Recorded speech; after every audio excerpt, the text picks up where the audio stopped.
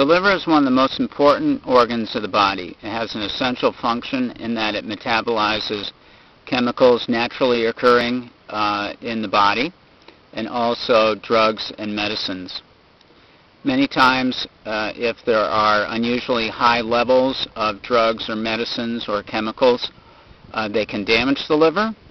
This can have a profound effect on the body, uh, primarily the nervous system, in that these chemicals continue to circulate and they can cause uh, dysfunction in the nervous system, the muscle system, and also uh, damage your organs.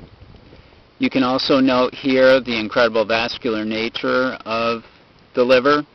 It has its own portal circulation in addition to uh, a very complex venous and arterial circulation. It's very large. It covers the breadth of your abdomen.